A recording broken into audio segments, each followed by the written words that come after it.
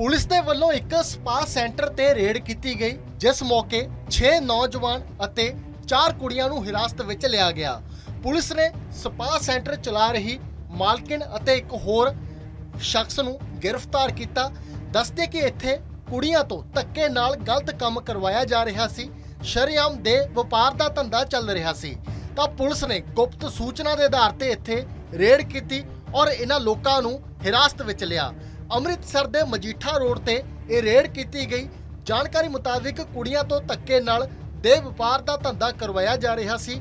Spa centre ਦੀ ਮਾਲਿਕ ਅਤੇ manager ਤੇ ਪਰਚਾ ਦਰਜ ਕੀਤਾ ਗਿਆ। ਲਿਹਾਜ਼ਾ ਇਹਨਾਂ ਤੋਂ ਪੁੱਛ ਪੜਤਾਲ ਕੀਤੀ ਜਾਵੇਗੀ ਔਰ ਕਦੋਂ ਤੋਂ ਇਹ ਦੇ ਵਪਾਰ ਦਾ ਧੰਦਾ ਇੱਥੇ ਚੱਲ ਰਿਹਾ ਸੀ, ਤਾਂ ਪੁਲਿਸ ਦੇ ਵੱਲੋਂ 6 ਮੁੰਡਿਆਂ ਅਤੇ 4 ਕੁੜੀਆਂ ਨੂੰ ਹਿਰਾਸਤ ਵਿੱਚ ਲਿਆ ਗਿਆ।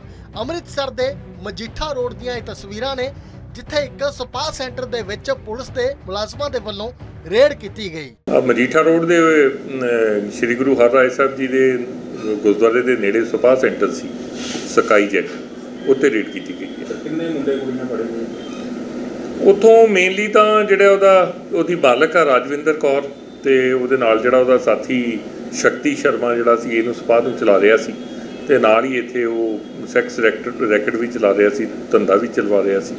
ਇਹ ਦੋ ਮੇਨ ਜਿਹੜੇ ਨੇ ਇਹਨਾਂ ਦੋਸ਼ੀਆਂ ਤੇ ਐਫਆਈਆਰ ਲਾਂਚ ਹੋਈ ਆ ਤੇ ਬਾਕੀ ਜਿਹੜੇ ਨੇ ਉਹਨਾਂ ਦੇ ਉੱਤੇ ਵੈਰੀਫਾਈ ਕਰਕੇ ਜੋ ਬਣਦਾ ਹੋਏਗਾ ਕਾਨੂੰਨ ਮੁਤਾਬਕ ਕਾਰਵਾਈ ਕੀਤੀ ਸਰ ਕੋਈ ਵਿਦੇਸ਼ੀ ਕੁੜੀਆਂ ਵਿੱਚ ਨਹੀਂ ਨਹੀਂ ਕੋਈ ਵਿਦੇਸ਼ੀ ਨਹੀਂ ਹੈਗੀ। ਟੋਟਲ ਕਿੰਨੇ ਸਰ ਮੁੰਡੇ ਕੁੜੀਆਂ ਵਿੱਚ ਅਰੈਸਟ ਹੋਏ ਇਹਨਾਂ ਦੇ ਵਿੱਚ ਕੁਝ ਤਾਂ ਵਿਕਟਮ ਹੈਗੀਆਂ ਨੇ ਤਾਂ ਕੁਝ ਕੋਈ ਇਹਨਾਂ ਦੇ ਜਿਹੜੇ ਦੋ ਮੈਨੇਜਰ ਨੇ ਨਾਲ ਤੇ ਇੱਕ ਰਾਜਵਿੰਦਰ ਕੌਰ ਤੇ ਇੱਕ ਜਿਹੜਾ ਉਹਦਾ ਸਾਥੀ ਓਨਰ ਜਿਹੜਾ ਸ਼ਕਤੀ ਸ਼ਰਮਾ।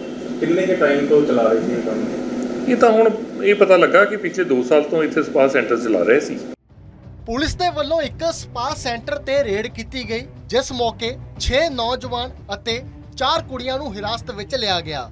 ਪੁਲਿਸ ਨੇ ਸਪਾ ਸੈਂਟਰ ਚਲਾ ਰਹੀ ਮਾਲਕਿਨ ਅਤੇ ਇੱਕ ਹੋਰ ਸ਼ਖਸ ਨੂੰ ਗ੍ਰਿਫਤਾਰ ਕੀਤਾ। ਦੱਸਦੇ ਕਿ ਇੱਥੇ ਕੁੜੀਆਂ ਤੋਂ ਧੱਕੇ ਨਾਲ ਗਲਤ ਕੰਮ ਕਰਵਾਇਆ ਜਾ ਰਿਹਾ ਸੀ। ਸ਼ਰੇਆਮ ਦੇ ਵਪਾਰ ਦਾ ਧੰਦਾ ਚੱਲ ਰਿਹਾ ਸੀ। ਤਾਂ ਪੁਲਿਸ ਨੇ ਗੁਪਤ ਸੂਚਨਾ ਦੇ ਆਧਾਰ ਤੇ ਇੱਥੇ ਰੇਡ ਕੀਤੀ ਔਰ ਇਹਨਾਂ ਲੋਕਾਂ ਨੂੰ ਹਿਰਾਸਤ ਵਿੱਚ ਲਿਆ। ਅੰਮ੍ਰਿਤਸਰ ਦੇ ਮਜੀਠਾ ਰੋਡ ਤੇ ਇਹ ਰੇਡ ਕੀਤੀ ਗਈ। ਜਾਣਕਾਰੀ ਮੁਤਾਬਿਕ ਕੁੜੀਆਂ ਤੋਂ ਧੱਕੇ ਨਾਲ ਦੇ ਵਪਾਰ ਦਾ ਧੰਦਾ ਕਰਵਾਇਆ ਜਾ ਰਿਹਾ ਸੀ। ਸਪਾ ਸੈਂਟਰ ਦੀ ਮਾਲਿਕ ਅਤੇ ਮੈਨੇਜਰ ਤੇ ਪਰਚਾ ਦਰਜ ਕੀਤਾ ਗਿਆ। ਲਿਹਾਜ਼ਾ ਇਹਨਾਂ ਤੋਂ ਪੁੱਛ ਪੜਤਾਲ ਕੀਤੀ ਜਾਵੇਗੀ ਔਰ ਕਦੋਂ ਤੋਂ ਇਹ ਦੇ ਵਪਾਰ ਦਾ ਧੰਦਾ ਇੱਥੇ ਚੱਲ ਰਿਹਾ ਸੀ, ਤਾਂ ਪੁਲਿਸ ਦੇ ਵੱਲੋਂ 6 ਮੁੰਡਿਆਂ ਅਤੇ 4 ਕੁੜੀਆਂ ਨੂੰ ਹਿਰਾਸਤ ਵਿੱਚ ਲਿਆ ਗਿਆ।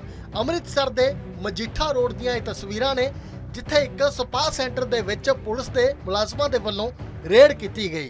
ਮਜੀਠਾ ਰੋਡ ਦੇ ਸ੍ਰੀ ਗੁਰੂ ਹਰਰਾਏ ਸਾਹਿਬ ਜੀ ਦੇ ਗੁਰਦੁਆਰੇ ਦੇ ਨੇੜੇ ਸਪਾ ਸੈਂਟਰ ਸੀ ਸਕਾਈ ਜੈਟ ਉੱਤੇ ਰੇਡ ਕੀਤੀ ਗਈ ਕਿੰਨੇ ਮੁੰਡੇ ਕੁੜੀਆਂ ਪੜੇ ਹੋਏ ਉੱਥੋਂ ਮੇਨਲੀ ਤਾਂ ਜਿਹੜਾ ਉਹਦਾ ਉਹਦੀ ਬਾਲਕ ਆ ਰਾਜਵਿੰਦਰ ਕੌਰ ਤੇ ਉਹਦੇ ਨਾਲ ਜਿਹੜਾ ਉਹਦਾ ਸਾਥੀ ਸ਼ਕਤੀ ਸ਼ਰਮਾ ਜਿਹੜਾ ਸੀ ਇਹਨੂੰ ਸਪਾ ਨੂੰ ਚਲਾ ਰਿਹਾ ਸੀ।